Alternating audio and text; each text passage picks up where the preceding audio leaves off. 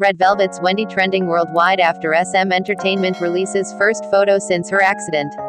The K-pop side of social media is abuzz on August 19 as SM Entertainment releases the first photo of Red Velvet's Wendy since a serious injury forced her onto hiatus last year. Back at the end of July, SM Entertainment announced Our Beloved BoA, a cover compilation project dedicated to BoA's 20th anniversary. Among the artists on the project was none other than Red Velvet, who will be covering BoA's song, Milky Way. On December 25, 2019, Wendy unfortunately suffered serious injuries at SBS Gayo Daejeon rehearsals. After negligent safety requirements caused Wendy to fall from a platform allegedly over 2 meters in height, Wendy was left with a fractured pelvis and injuries to her face and wrist. Since then, Reveloves have made do with sparse updates on her condition, recently learning that she was still undergoing rehabilitation.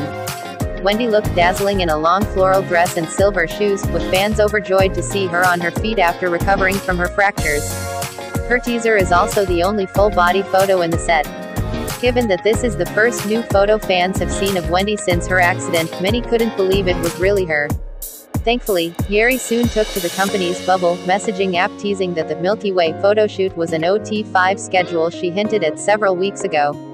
This likely means Reveloves can expect to hear Wendy on the song and see her in the music video too.